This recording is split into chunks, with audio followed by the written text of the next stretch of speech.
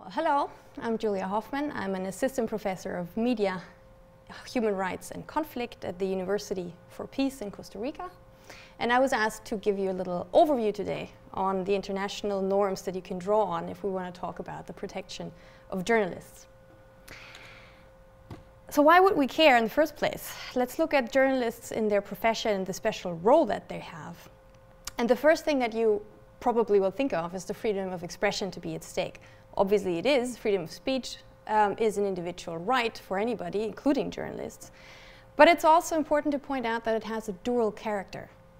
When it comes to the protection of journalists, that right doesn't only involve the individual right of journalists as individuals, but also the right to receive information and ideas of the public. So this also makes for a special relevance of the freedom of the press, which has been repeatedly also recognized in international human rights laws, case law. Also, journalists have a specific role when it comes to informing the public about, for example, situations of war and conflict. So they could be looked at as a specific category, maybe even, of human rights defenders due to the role that they play. So if we violate their rights, you could argue, we also have a violation of others' rights to access to knowledge, to receive ideas and information. There is, I would argue, an additional urgency talking about the protection of journalists, specifically when it comes violent, to violent conflicts. There is a rising toll of kidnappings, of unlawful detention, even of murder of journalists covering military conflicts around the world. There have been 887 journalists killed worldwide since 1992, and 17% of them covering, cross, covering conflicts have been killed in crossfire or conflict situations.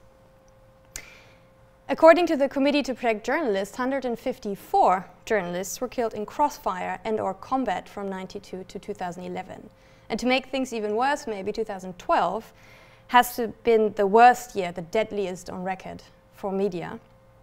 According to the International Press Institute, at least 119 journalists were killed only last year. That seems to be the highest number since they tracked the attacks against media professionals in 1997. This is not only a human tragedy, it also has effects that we would have to consider in a larger social perspective. It has a chilling effect if you murder a journalist, you're also sending a signal. It, has a it is a provocative warning to others not to pursue that specific uh, line of investigation. That also comes, uh, becomes relevant when we talk about, for example, organized crime. Journalists covering not only armed conflicts, as we would think of maybe in terms of classical ideas of war, but also when it comes to, for example, drug cartels. It leads to self-censorship. It leads to a decrease in our access to information. There's also a rampant problem of impunity. So the lack of prosecutions, the lack of effective investigations when it comes to the perpetrators of crimes of violence against journalists. So for example, the, in 2006, you may remember, Anna Politkovskaya's murder has still failed to make any convictions. The trial of four of the alleged killers ended in 2009, um, with three of them being acquitted.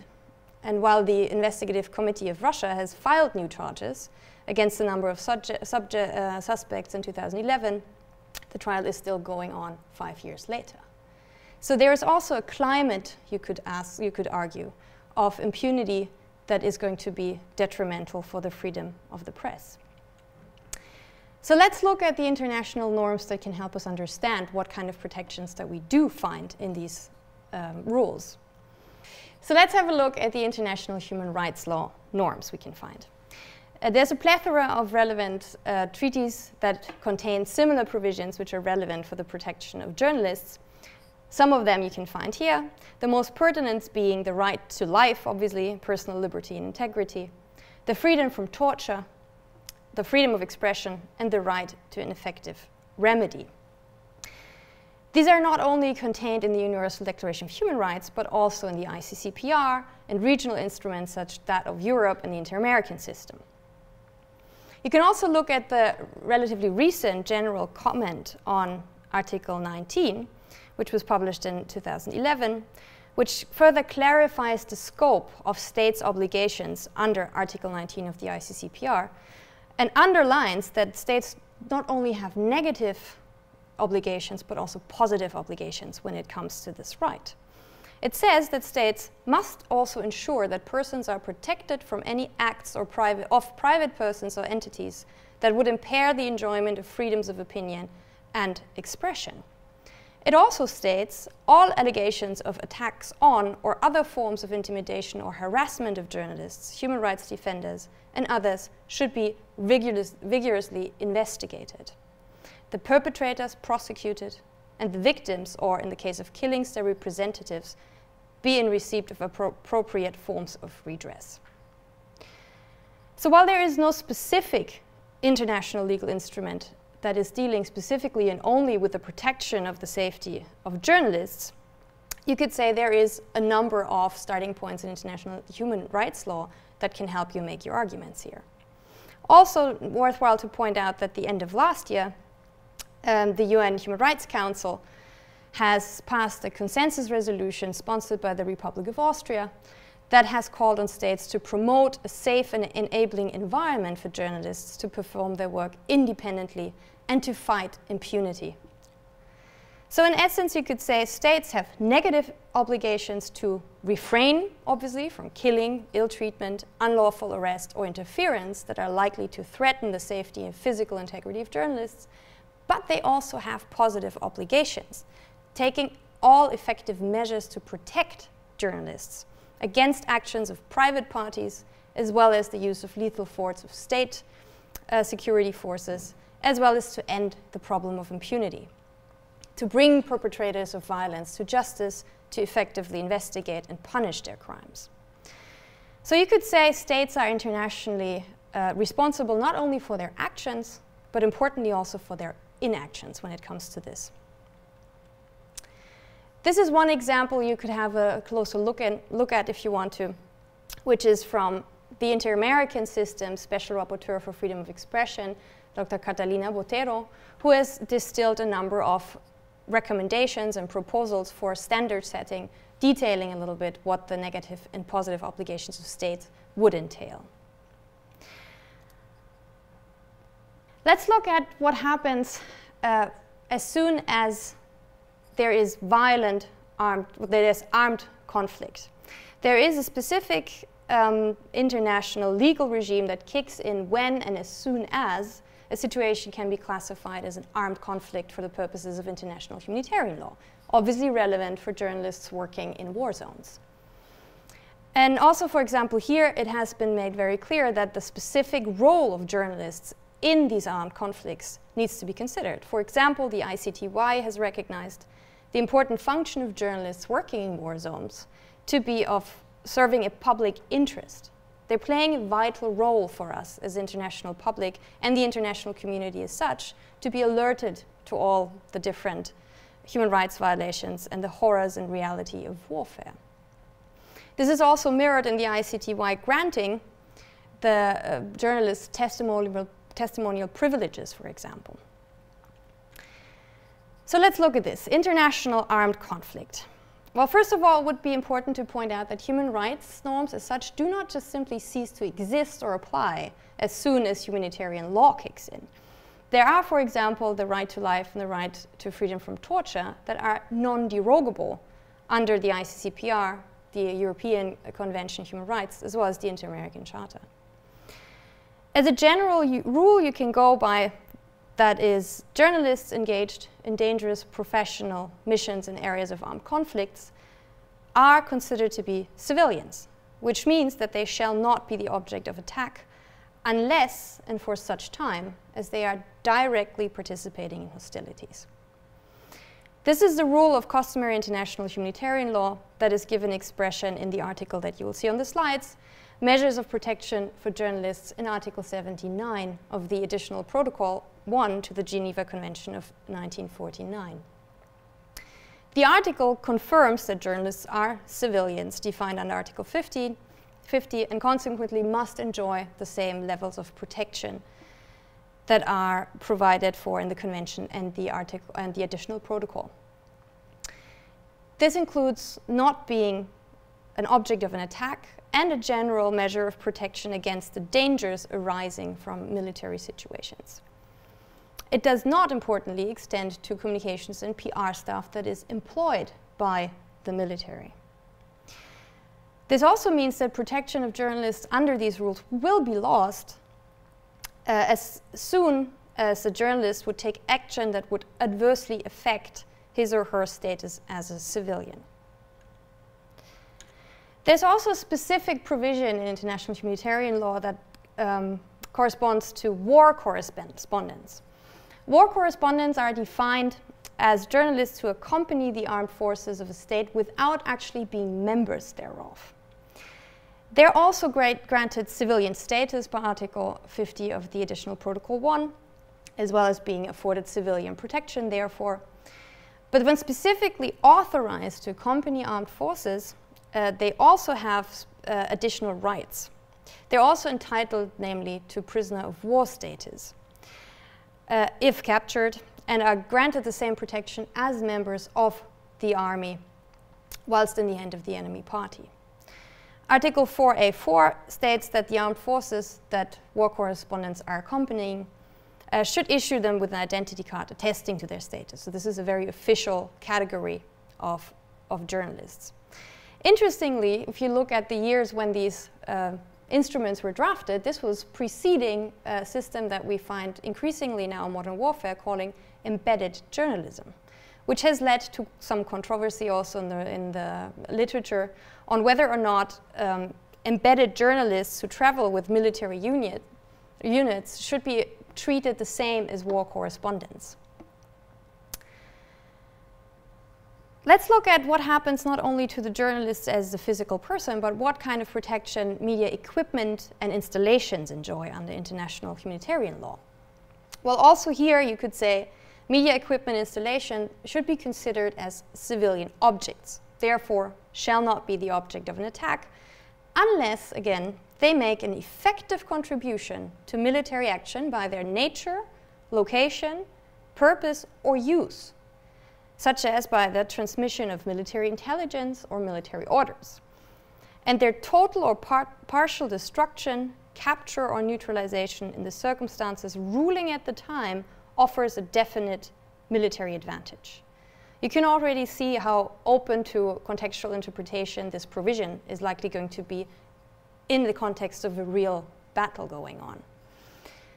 Most legal scholars would uh, probably agree that the general protection afforded to civilian objects under Article 52 of the first protocol corresponds to a customary, customary role, rule in international humanitarian law. But we also live in a highly technological, technological age, which means that we often make what is called dual use, so civilian and military use of certain objects.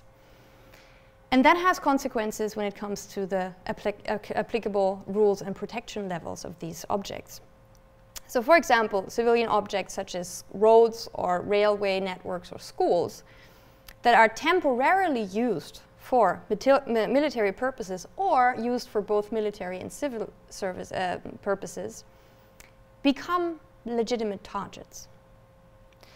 So for example, if you look at what happened in 2003, the information ministry in Baghdad was bombed twice by coalition forces, even though it was known that that also was how that building was also housing offices of international media, for example.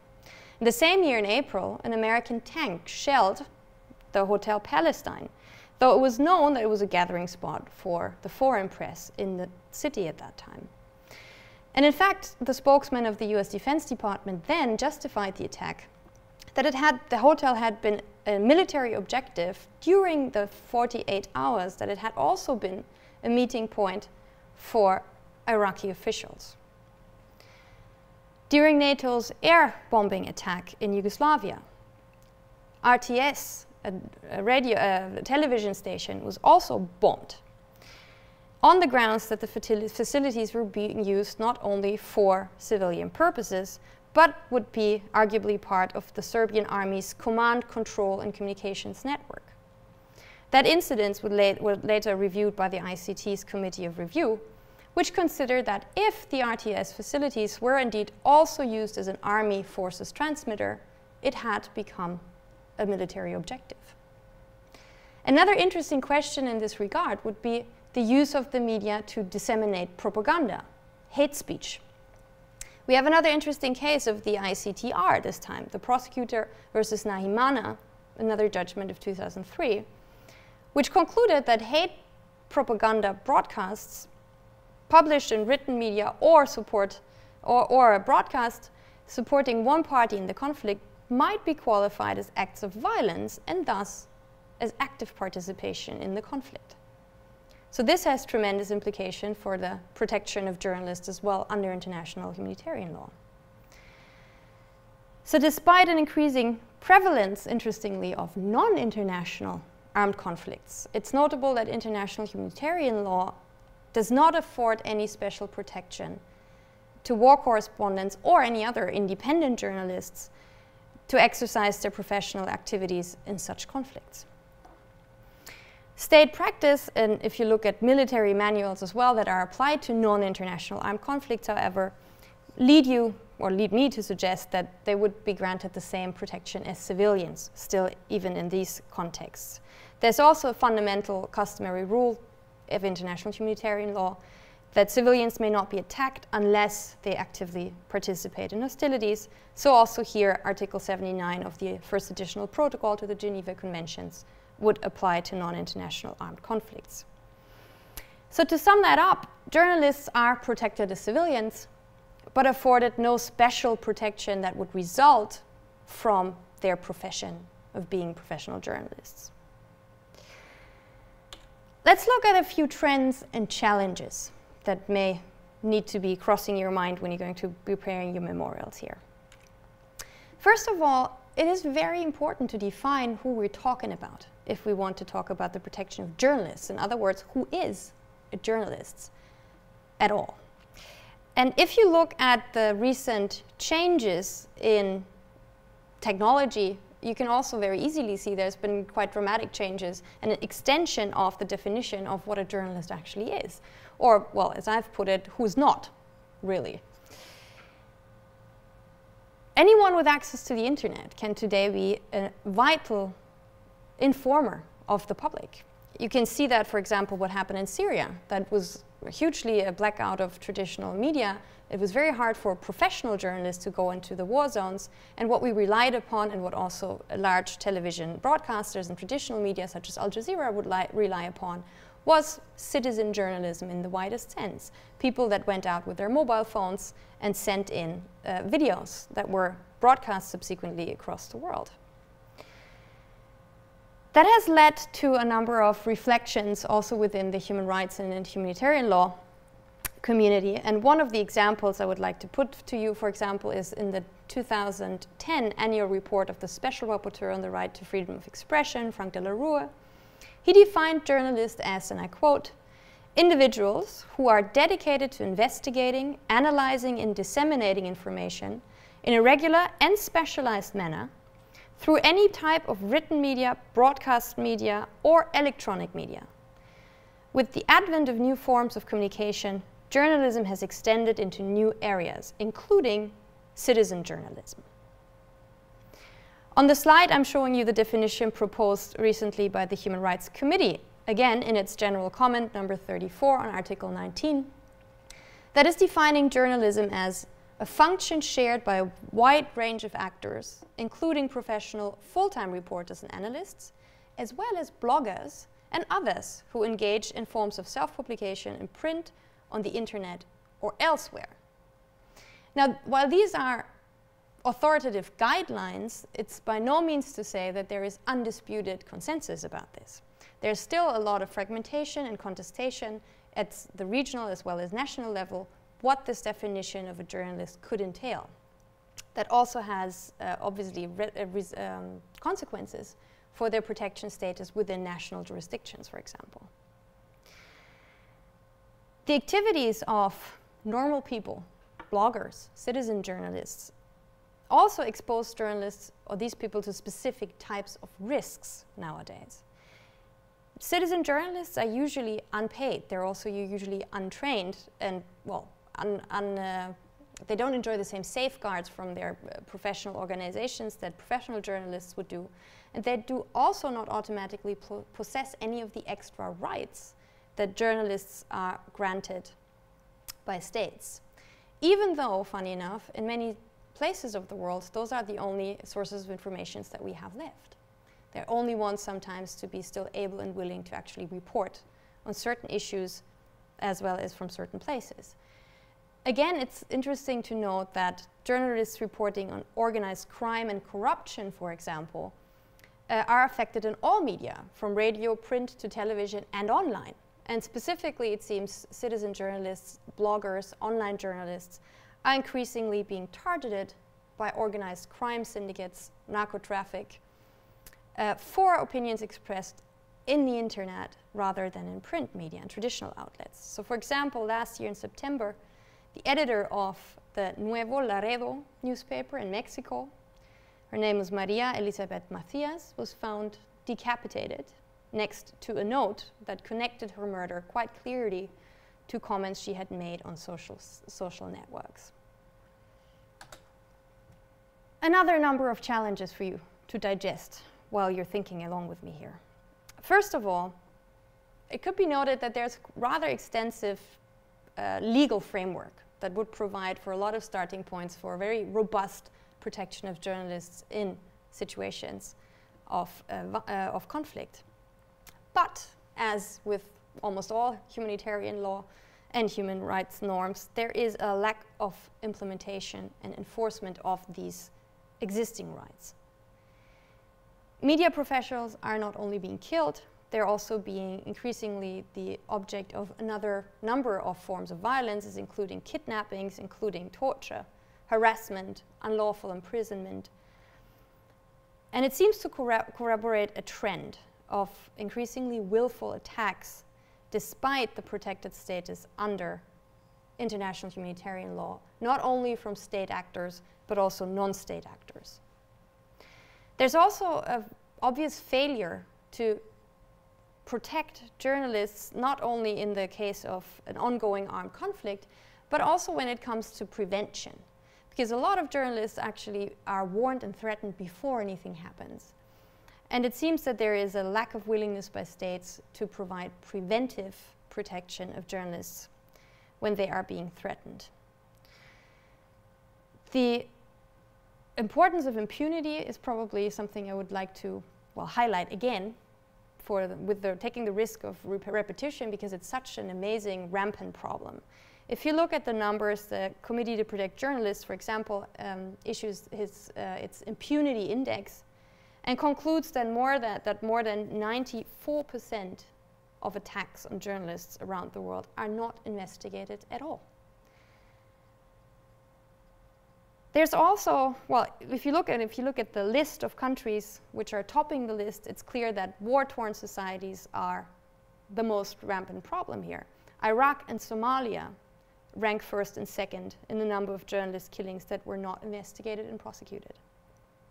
There's also changes in the relationship between the military and the press as systems, as professions, you could argue.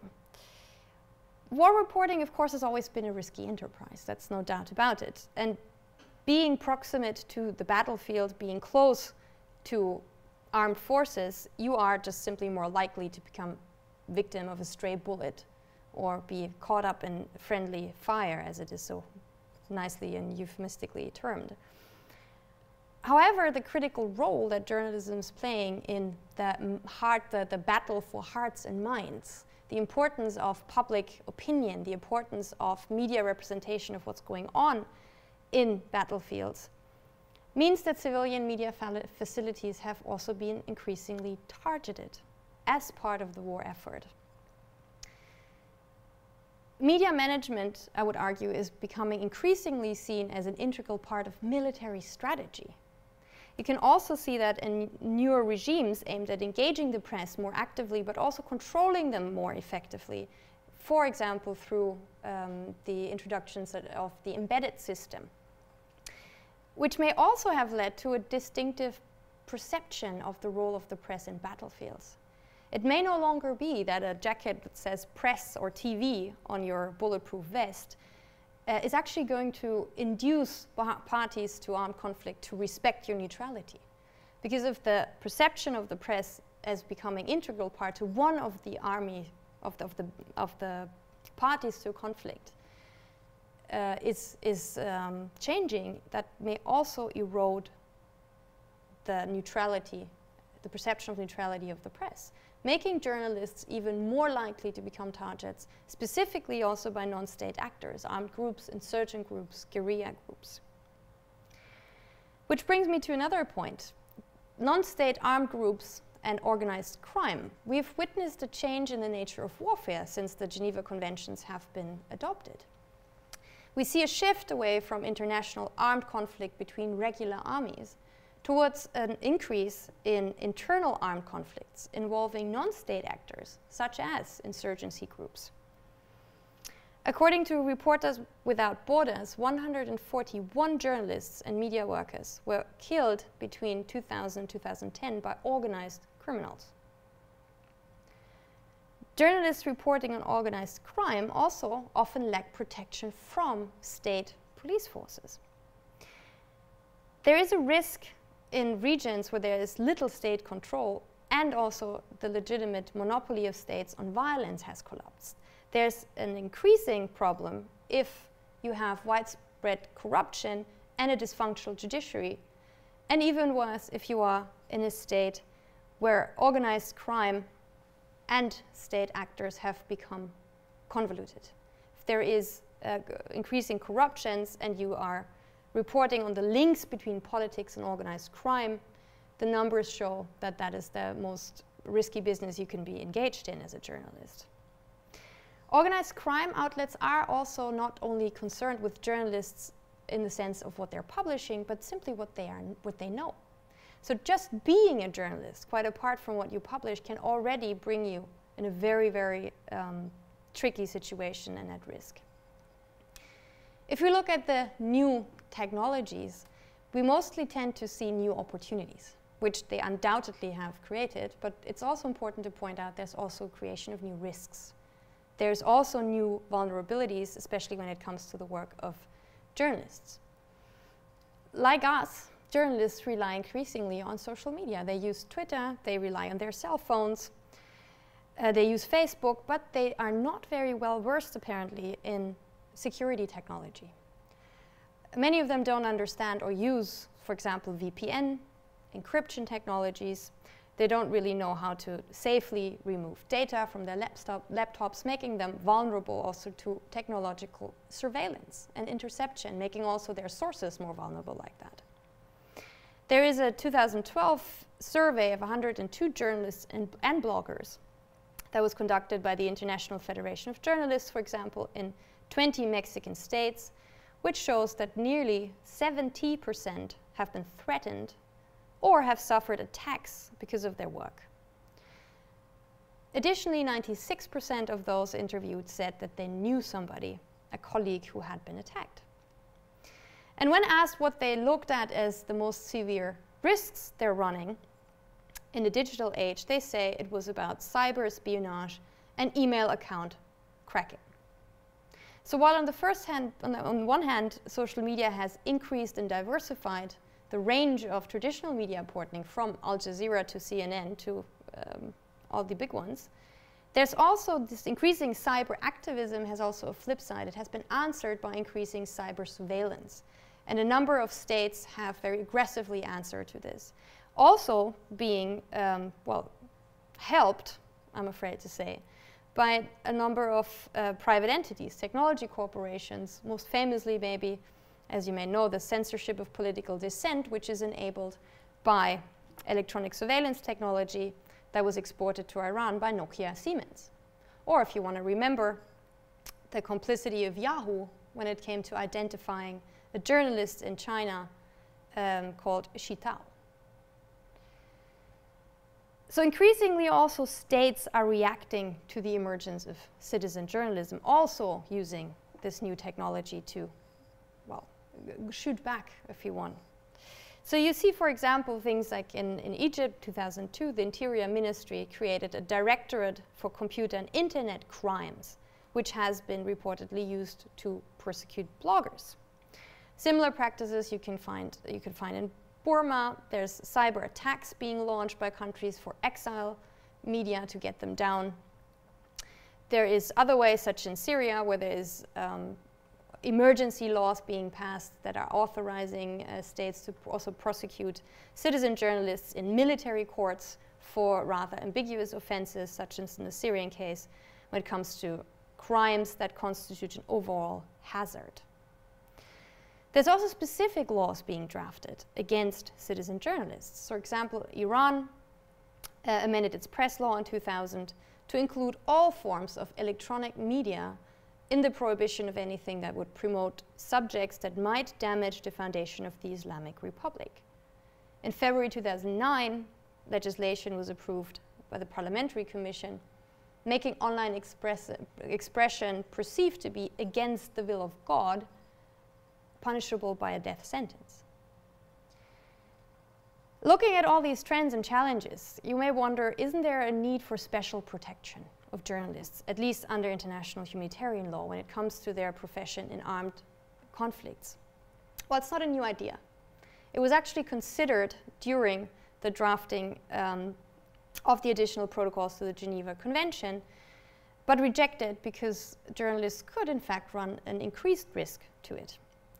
The so called press emblem campaign was devised in 2006 in a report to the Human Rights Council, and again was um, discussed as, well, proposed as Article 7 of a draft proposal for an international convention to strengthen the protection of journalists in zones of armed conflict and civil unrest it's still being criticized as potentially being ineffective because just putting a new emblem out, creating a new special group that would have special protective status without actually changing the adjacent rules may in fact not make the rules more effective. So you could question whether or not it's about an extra symbol or just about impl implementing existing rules more uh, robustly.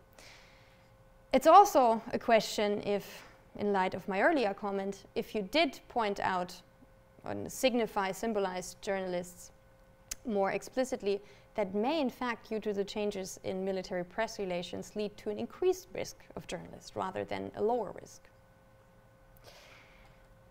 Well, to end my short introduction for your preparations, I have put together a number of additional little tips. How about that? So in addition to preventing tax attacks on journalists. There's a number of UN uh, Security Council as well as General Assembly resolutions that have emphasized a need for states to actively engage in ensuring respect and protection of journalist safety.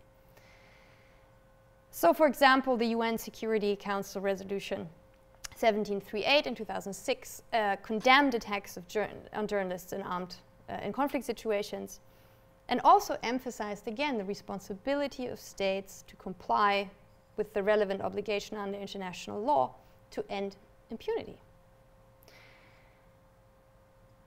There is, in short, a plethora of sources that you can refer to, and to make it even more comprehensive, there's a number of declarations also issued by actors such as UNESCO that you may want to refer to to guide the normative framework of your argumentations for your moot court memorials.